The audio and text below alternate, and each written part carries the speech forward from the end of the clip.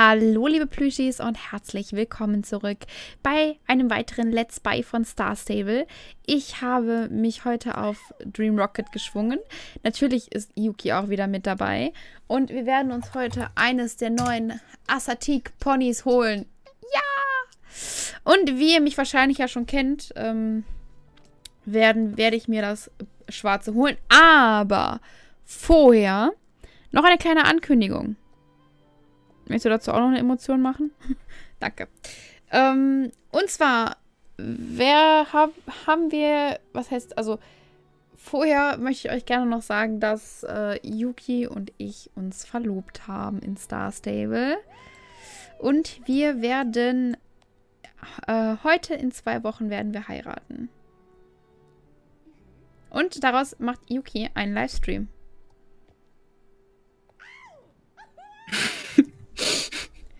Gut. Machen wir weiter.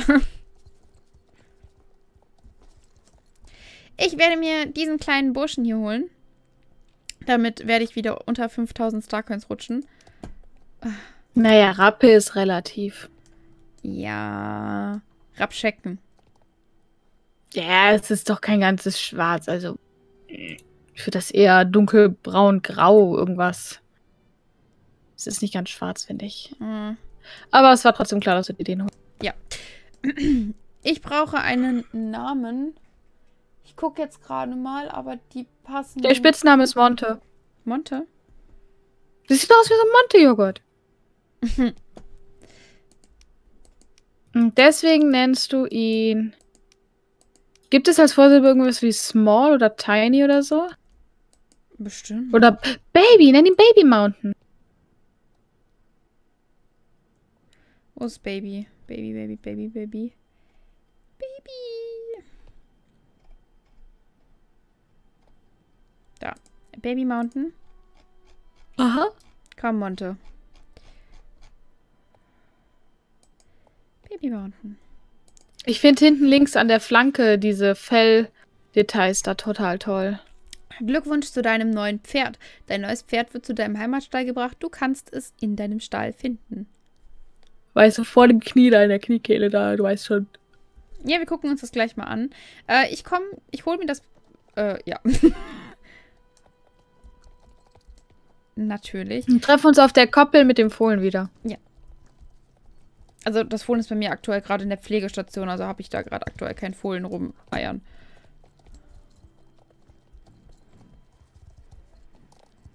Und ich werde mir jetzt ähm, ein wunderhübsches neues Pferdchen holen. Dafür wird die Ponybox leer gemacht. Das heißt, Wild Wish muss gehen. Und... Wo ist er? Hallo? Baby Mountain? er, er, er, er, er wird nicht angezeigt. Aber die Starcoins... Er versteckt sich.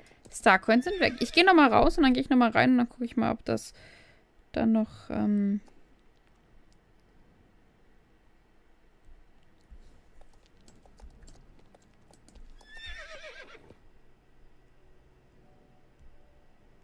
ob der dann da drin ist. Nein, wo ist er denn?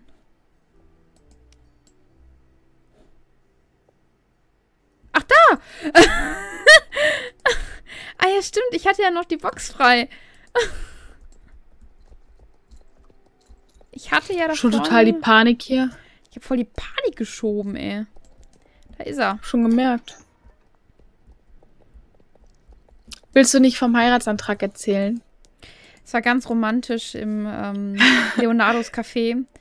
Sie hat mich um ein Date gefragt. Ich habe natürlich direkt Ja gesagt. Und dann fiel sie vor mir auf die Knie und hat mich gefragt und hat gefragt, ob ich sie nicht in Star Stable heiraten möchte. Und ich habe mir gedacht so, ja, warum nicht, ne? Kann man mal machen. Ach, gib doch zu, du dachtest eh nur, ja, gibt ein gutes Video ab. Stimmt. Oh mein Gott, wenn ich immer eine Nachricht von dieser App bekomme, dann rastet mein Handy komplett aus. So, so Baby. App? Äh, Horsehaven World Adventures. Hm. So, mein kleiner B. Komm, Monte, wir gehen dich mal einkleiden. Ich glaube, dir könnte, dir könnte so ein guter, ähm, so ein... Ich vergessen, was ich sagen wollte. dir könnte ein Western-Outfit stehen, oder? Ich finde ja.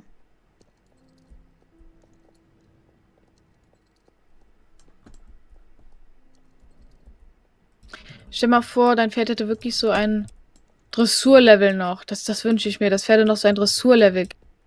Und äh, wenn du mit denen viel auf gegebenen Dressurplätzen, wie beispielsweise dieser Koppel hier oder in der Reitarena reitest, ähm, dann, also zum Beispiel im Trab, dann lernen die irgendwann eine Bahnführung alleine sehr gut zu halten, sehr eng um die Kurven zu gehen und solche Sachen.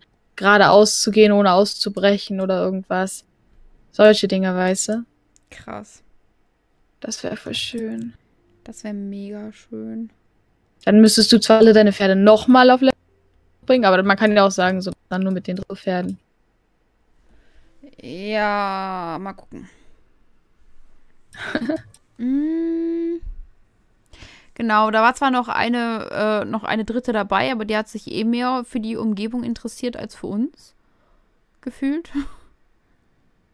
Auch wenn es nicht so, ähm, das finde ich eigentlich sehr hübsch als, ähm,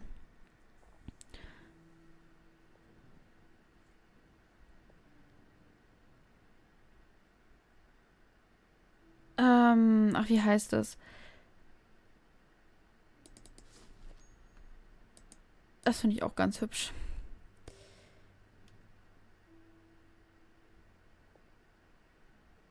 Wobei ich finde, dass auf, äh, dass auf Monte die Westernsättel so richtig riesig wirken. Mhm.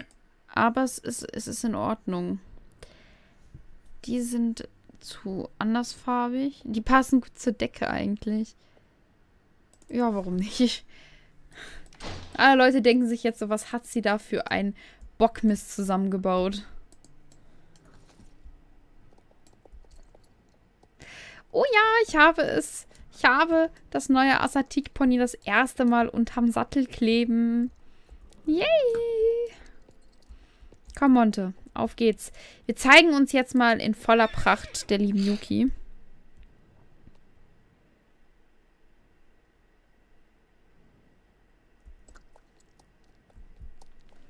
Ich glaube, ich werde den Ton bei der Dressur demnächst verschärfen. Ja?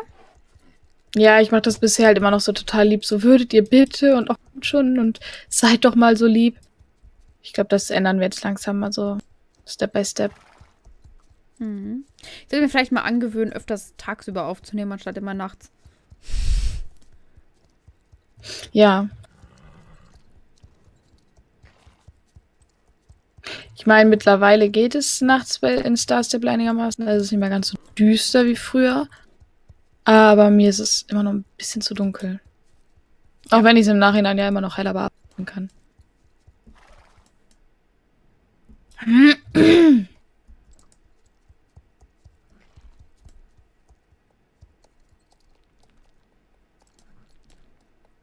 So, und hier seht ihr gerade den Schritt des kleinen Kerlchens.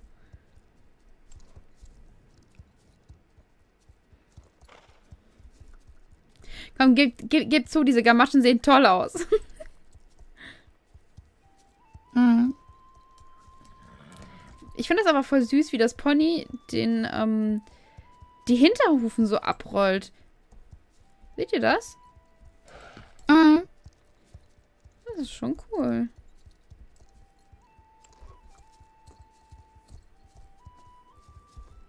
Hier noch mal einen Schritt, bitte. Will nichts sagen, aber die Vorderhufen erinnern mich ein bisschen an den Trakehner. Wir machen jetzt mal einen Test. Ich werde das abnehmen und dann gucken wir uns die Vorderhufen mal an. Der geht damit auch so ein bisschen nach hinten weg, siehst du das? Ja, aber... Also es, es, ist noch gerade so okay, aber es aber ist auch schon grenzwertig. Sieht wenigstens nicht so aus, als ob so die Knochen dieses Pferdes Wackelpudding wären. Ja, ja beim Trakehner sieht das echt aus, als wären die Gelenke komplett raus. beim Trakehner halt leider ist. Ich kann nicht oft genug sagen, wie schade ich das finde um diese wunderschöne Pferderasse. Weil so an sich ist die Pferderasse super schön und sie ist auch wirklich nicht schlecht. Aber dieser Trab, der geht einfach gar nicht. So, und dann der Trab ist halt dieses typische Ponytraben. Mit den Beinchen so wegwerfen. Voll süß. Wollte gerade sagen, ich glaube, mich tritt ein Pferd, ey. Hm? Ich habe gedacht, der knickt, äh, was bei der Trakehner im Trab bei den Vorderhufen hat, dass das Pony das bei den Hinterhufen hat, aber ich glaube aber nicht. Oder? Doch so ein bisschen, ne? Ja. Mm. Star Stable, warum ja, tust du das?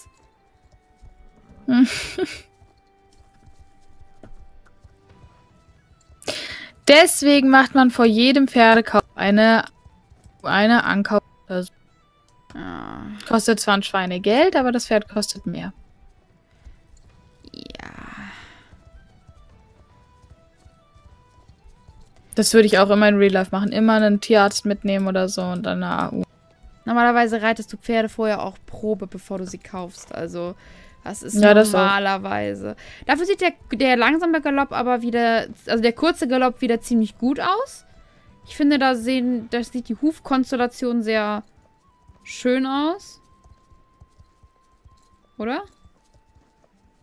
Ja, die Hinterbeine sehen so ein bisschen auseinander aus.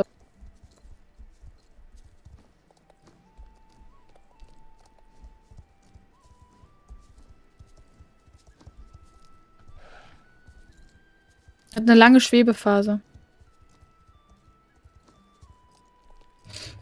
Wenn mir das gerade mal hier so, wie ich mir gerade mal hier so angucke, sieht das gerade so aus, als ob dieses Pferd so an so, an so ein paar Fäden angebunden wäre. Und dann. Und die Beine nur bewegt, ne? Das, das bewegt den Körper bewegt. nicht wirklich. Ja, der Körper geht halt einfach gar nicht mit. Also Guck dir mal so von wirklich. meinem Pferd den Körper an, der schaukelt richtig. Irgendwie nicht wirklich. Jetzt ja. Jetzt ja, also jetzt hier bei dem schon, aber bei dem da drunter nicht.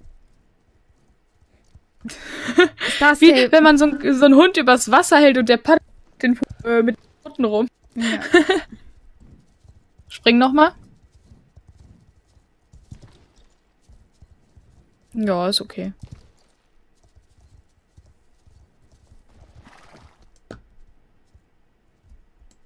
Jetzt äh, kommen wir erstmal zu dem äh, Springen, wenn man nur im, also mit dem hohen Springen. Und jetzt stellen wir uns die Frage der Fragen. Wie sieht das Steigen der Ponys aus? Oh oh. Es oh, das, das, ist okay. Das ist dasselbe Steigen, was die äh, Jorvikschen Starter-Ponys auch haben. Das Steigen ist tatsächlich mal wieder eins, was das einigermaßen okay ist. Ja. Abgesehen, also ne, anders als bei den Jorvikschen Warmblütern, den Lusitanos oder den Clydesdales. Also die Lusitanos finde ich, find ich gut eigentlich. Weil. Ja. Ich nicht. Ich, ich muss ganz ehrlich sagen, mir gefällt das nicht. Mit diesem. Als hätten die in den Vorderbeinen halt überhaupt gar keine Kraft. Und gehen mit den Hinterbeinen so richtig weg. Ja, würde ich, wenn ich es in Real Life sehen würde, würde ich auf jeden Fall schon. Aber, aber ihr guckt beim Rückwärtsgehen nicht wirklich nach hinten, sondern eher nach vorne. So starr nach vorne. Ja, wobei so, so ein bisschen nimmt er den Kopf. Ist so ein Stückchen nach hinten. Oh Gott, ich sehe das Innere deines Pferdes, das will keiner sehen. Ähm, aber so ansonsten eigentlich. Hm. Steigen wir mal von Stell dir mal vor, Star Stable hätte da wirklich Organe und so animiert. Jo. und gucken uns da noch das Führen an.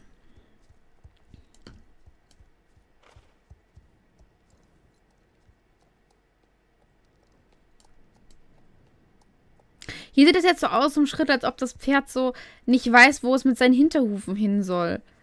Es, es winkelt sie wirklich ziemlich stark an, so nach dem Motto, so, meine Gott, meine Beine sind zu kurz geraten. Und ich äh, habe da echt kein, äh, keine Ahnung, wie ich das mit den Hufen machen soll. Und deswegen schleife ich sie jetzt einfach so mit.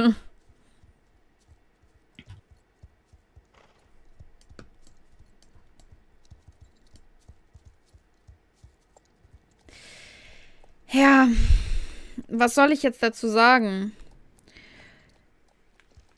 Ich würde auf jeden Fall. Ich bin Fall ehrlich gesagt ein bisschen enttäuscht.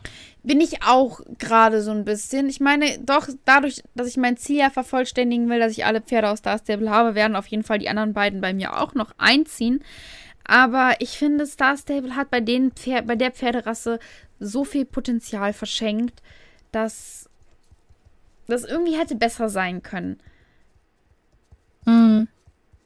Vor allen Dingen, was ich halt jetzt auch so schade finde, ist, dass Star Stable jetzt ähm, auf Ach und Krach versucht, diese ganzen alten Rassen zu einer Premium-Rasse umzuwandeln. Ich finde, die sollten lieber erstmal Pferderassen reinbringen, die es gibt. Pasofinos! Star Stable, bringt Pasofinos rein. Nimmt euch ein Beispiel an Horsehaven World Adventures. Die bringen am 20. März 2019 die Pasofinos raus. Ja. Aber trotzdem wird äh, Monte bei uns im äh, Kader bleiben. Im Kader? Im Kader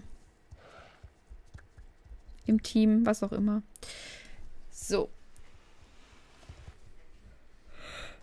Das war's dann jetzt auch schon wieder. Ich hoffe, das ganze Video hat euch gefallen. Ich hoffe, es hat euch Spaß gemacht. Und wir sehen uns dann das nächste Mal auch schon wieder. Ciao, ciao.